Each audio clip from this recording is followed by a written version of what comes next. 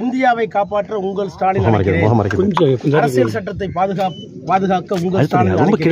என்கின்ற சார், ரொம்ப கீழே மாண்புமிகு முதலமைச்சருடைய அழைப்பை தமிழ்நாடு மக்கள் ஏற்று நாற்பதுக்கும் நாற்பது நாடும் நமது என்கின்ற அளவில் இன்றைய தினம் வாக்குப்பதிவிலே மக்களுடைய மனநிலையை காண முடிகிறது. தமிழக அரசினுடைய நலவாழ்வு திட்டங்கள் பாசிச ஆட்சிக்கு எதிரான மத்திய பாசிச ஆட்சிக்கு எதிரான உளவியல் இவற்றையெல்லாம் வெளிப்படையாக தேர்தல் களத்திலே பார்க்க முடிகிறது. ஒட்டுமொத்த வெற்றிக்கும் முக்கிய காரணமாக இருந்த திராவிட முன்னேற்ற கழகத்துடைய தலைவர் தமிழ்நாட்டுடைய முதலமைச்சர் அவர்களுக்கு இந்த வெற்றி போய் சேரும். பிஜேபி தலைவர்கள் வந்து இந்த தேர்தல் பிரச்சாரம் போது அதிகமா தமிழ்நாட்டை நோக்கி படையெடுக்க காரணம் நினைக்கிறீங்க? அது அவங்களோட தோல்விக்கு அவங்களே ஒத்துக்கிறாங்கல்ல.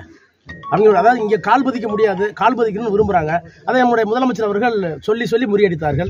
விளைவு இன்றைக்கு இந்தியாவே அவர் கையை விட்டு போக போகுது. இல்ல இதுவரையில இல்லாத வெறும் ஜாதி கூட்டணி வந்து போட்டு ஒரு ஏழு ஜாதிகளை ஒன்றிணைச்சு வந்து ஒரு கூட்ட இது கூட்டணி இப்போ அமைச்சிருக்காரு இப்போ பாரதிய ஜனதாவில். அது எப்படி வெற்றி தருமா? அது எந்த அடிப்படையில் அவங்க அந்த மாதிரி பண்றாங்க? சாதி உணர்வு மத உணர்வு ஊழல் இந்த மூணு தான் எங்களுடைய முகம். அந்த முகம் முழு முழுமையாக இங்கே வந்து வெளிப்படு- தமிழ்நாட்டில் வந்து தோலுரித்து காட்டப்பட்டிருக்கிறது.